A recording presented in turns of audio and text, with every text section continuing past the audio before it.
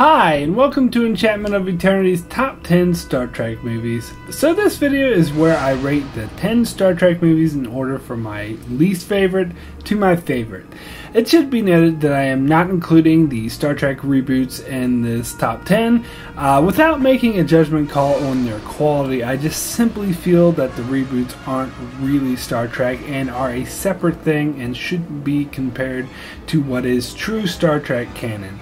Again, that doesn't necessarily mean I hate them, it just means I feel it belongs to a separate collection of stories, not this one. I know many had said the same thing about like Deep Space Nine, Voyager, and Enterprise, but I strongly disagree.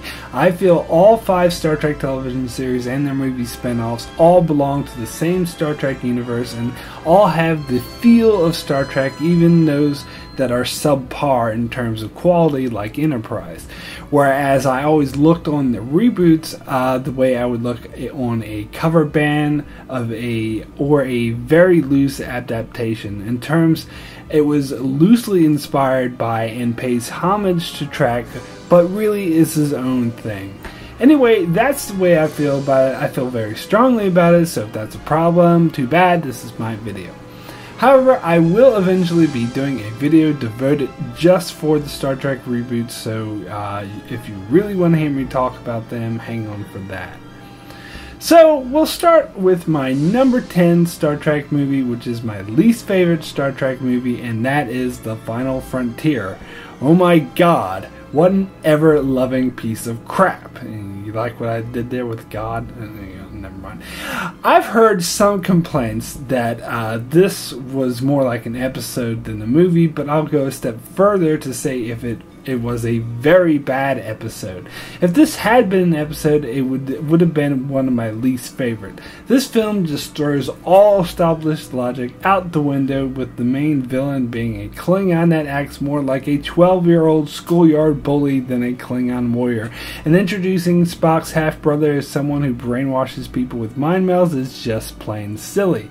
It was obviously uh, throughout the film that they were just trying real hard to recapture the magic of the last three Star Trek films and failing miserably. The whole film was riding off the coattails of the Voyage Home success. They didn't even try to make a decent movie. So my rating out of 10 for The Final Frontier is a 1 the worst. Coming in at number 9 is the motion picture. If you watch any making of featurette for this film, it really explains uh, you know, and it makes sense why this movie ended up being such a mess. Star Trek was originally meant to come back in the 70s as another TV show, but because of the success of Star Wars, the studio decided to do it as a movie instead, and it was insanely rushed to meet some uh, release date that came far too soon. The script was very loosely based off the script for the pilot episode of the abandoned TV series project, and they started filming before the uh, script uh, even had an ending Actors recall that they were pitching endings to the producers while they were filming. Furthermore, it's evident to me that the studio wanted to make a Star Wars film, Gene Roddenberry wanted to make a Star Trek film, and a director wanted to make a 2001 a Space Odyssey type film. And the ending result is a mismatch giant mess of a film. Uh, this, you know, it's all fluff and scenery with no story. The story of this film could fit into a 45 minute episode. It was just overbloated with long, drawn out psychedelic sequences meant to look visually interesting, but did nothing to add to the story. The film was too boring to appeal to Star Wars fans. It lacked the intellect and heart to appeal to Star Trek fans, and its mismatch of themes and stories uh, made it not appeal to 2001 fans. So, in the end, it's just an overbloated, boring movie with an interesting story at the heart of it that could have been told in like 45 minutes. And overall, it's a cautionary tale to film studios of what happens when you try to rush a film that really needs more time in order to do it justice. So my rating for the motion picture is a 3, very poor. Number 8 is Insurrection. Uh, this film was probably the next generation film that was most coherent and had a good narrative structure and told a consistent story. The problem is the story is not at all interesting. Uh, they didn't seem to be any justification for making this film other than they felt like it was time for another Next Generation movie, so they just came up with some random idea so they could just do that. If ever there was a Star Trek movie that would have been better off as an episode, it was this one. Nothing about the story screamed cinematic, except for a few needless action sequences which were obviously tacked on in a failed attempt to make it appear more cinematic. There were good, strong themes of Picard sticking up for what he thought was right, regardless of the consequences, which has always been good uh, and one of uh, the Next Generation's strengths. But it was hidden under a lot of unnecessary fluff that just slowed the movie down and a lot of forced humor and action that just came off as fake. So my rating for Insurrection is a 6 good. Number 7 is First Contact. This is one of the most popular Star Trek films, but I personally feel it gets a little more praise than it deserves. I too was captivated by its action sequences with the Borg. The space battles uh, were pretty intense and awesome, and the sequences uh, with the Borg running around like zombies was scary as hell. An overall uh, character story arc of Picard having to confront his anger and need for revenge was awesome. The scene where he gives the classic "The line must be drawn here" speech uh, was was one of the most epic moments in all of Star Trek and one of Patrick Stewart's best performances. But let's be honest here, the story is a bit of a mess.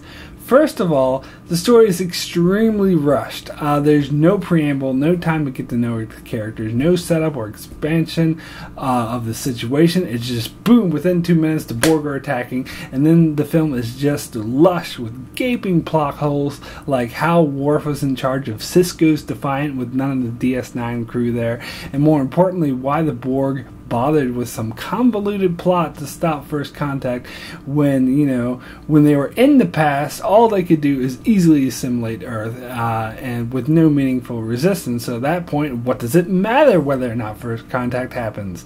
And i said this several times before if the borg want to conquer earth so badly all they have to do is send more than one ship next time. Easy peasy and the whole concept of the Borg Queen seemed like an artificial way to create a singular face of the villain uh, the Star Trek movies have to have, and her need for a counterpart was also extremely convoluted and did not fit into established lore.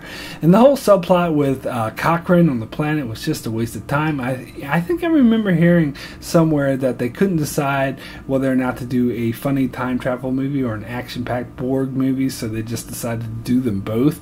And I don't don't think they mesh at all, and it just comes off as disjointed, and it was trying to do too many things at once.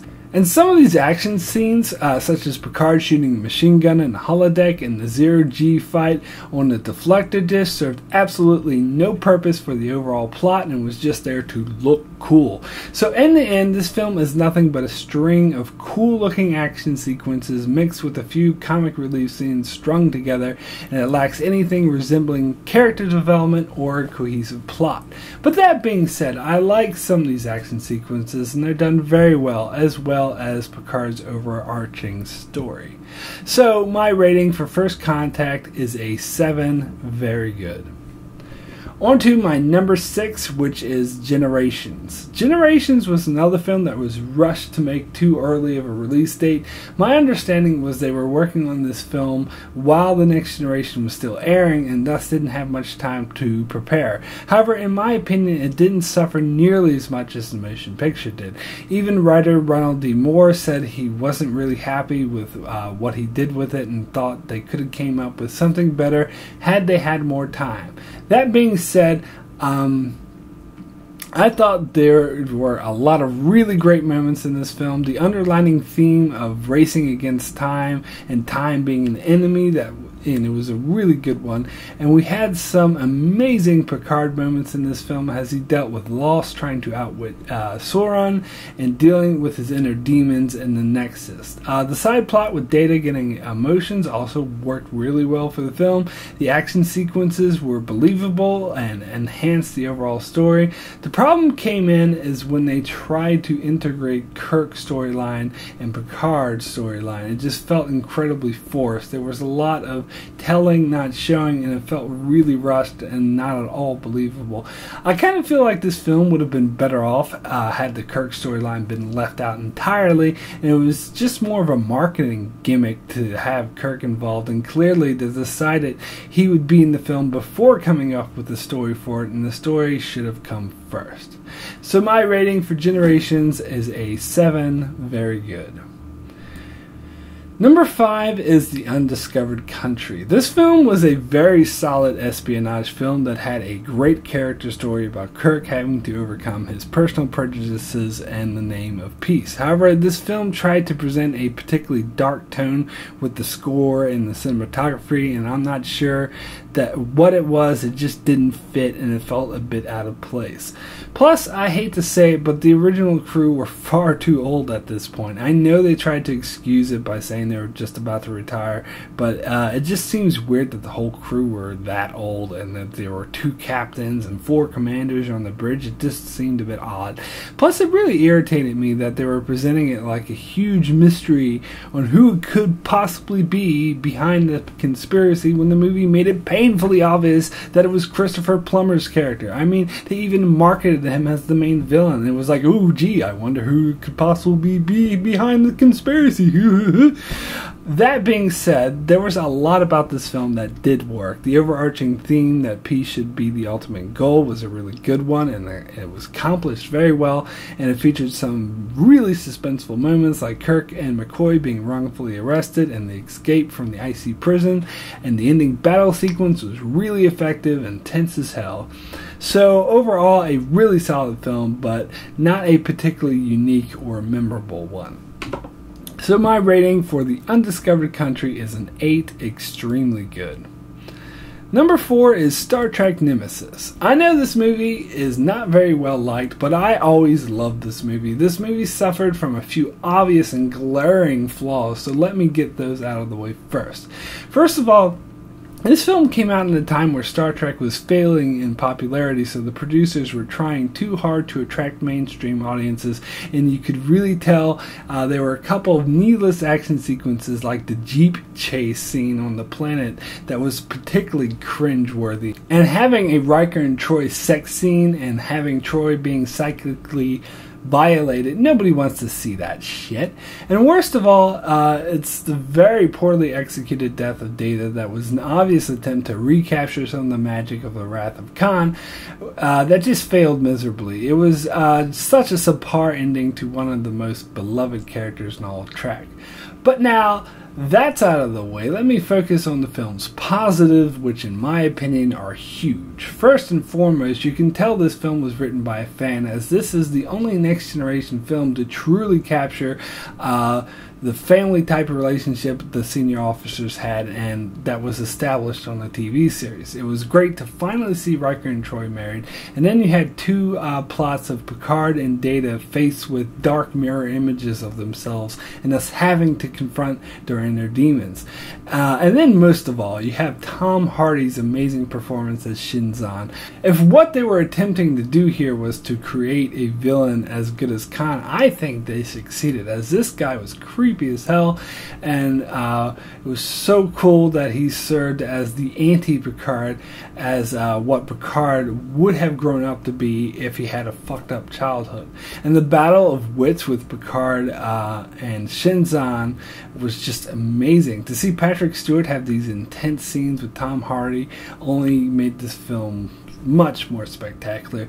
Uh, but if that wasn't enough, the film, in my opinion, features the greatest space battle in all of Star Trek. I mean, Picard is at his best when he's using his wits to outsmart someone, and here he's clearly outmatched and is face- facing certain defeat.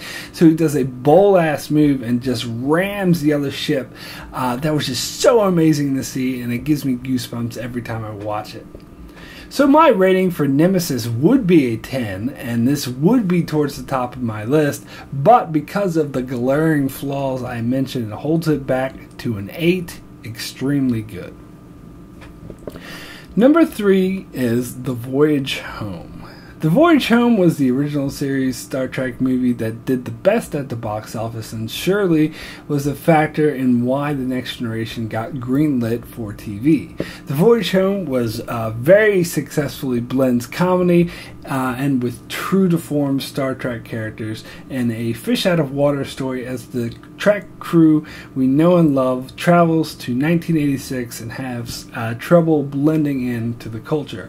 I mean, this film features uh, some classic comedy moments such as Scotty picking up the mouse and using it to try to talk to the computer, Spock acting like a weirdo in modern day San Francisco, and Kirk's, uh, I think he did a little too much LDS line, along with many other classic lines. I mean, this film, regardless of being Star Trek, is a classic 1980s comedy up there with films like Ghostbusters and Back to the Future. And on top of that, it featured a classic Trek plot about the crew trying to bring whales back to the future to stop destruction of Earth. And it was very nicely tied up loose plot lines from the previous two films, turning Star Trek 2 through 4 into a nice little trilogy. However, there were some obvious plot holes about the probe and the whales, but I tend to give it a bit more leeway because it's a comedy. But it does hold it back for me a little bit in being a perfect film, as uh, at times the comedy is prioritized over plot. So my rating for The Voyage Home is a 9 excellent. Number two is The Search for Spock. Now, some may see this movie as an obvious ploy to resurrect a beloved character, Spock, so they could continue having Leonard Nimoy in the franchise, and in some ways it is, but it was so well done.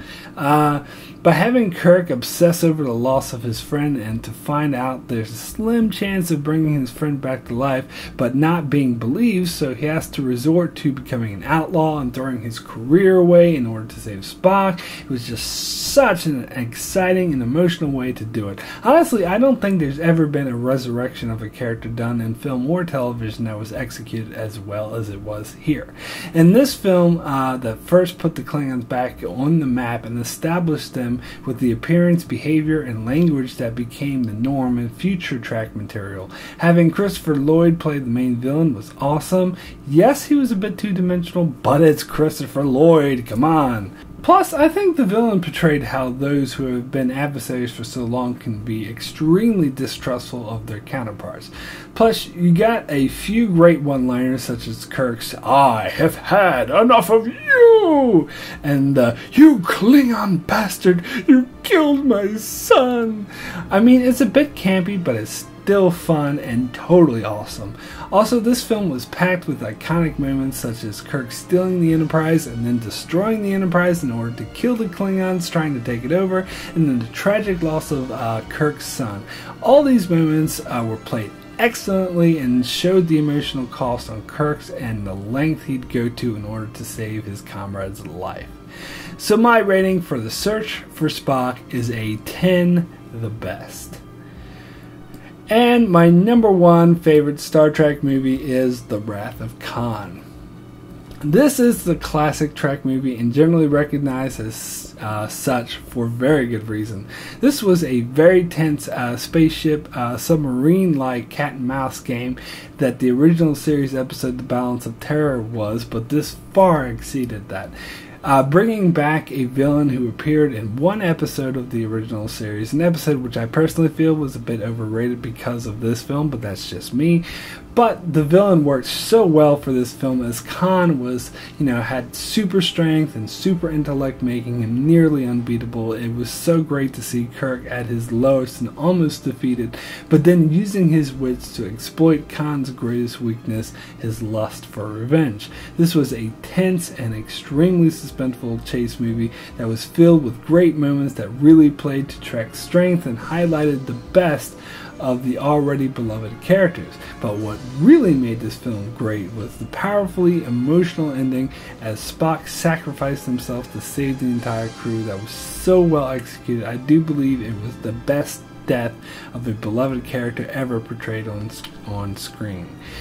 Everything about this movie was just executed so well and got the viewer involved and sucked into the film and played on what made Trek so great, making it my number one favorite Star Trek movie. So my rating for The Wrath of Khan, of course, is a 10, the best. So that's it for my top 10 Star Trek movies. Be sure to check out my channel for many other Star Trek videos. Uh, at the moment, I'm doing a series of reviews where I review episodes from any of the star, uh, five Star Trek television series as requested by my viewers. So if there's an episode you'd like me to review, just make a comment below with the name of the episode you'd like me to review, and I'll endeavor to do so. And make sure you subscribe so you can keep up with all that, and thanks a lot for watching.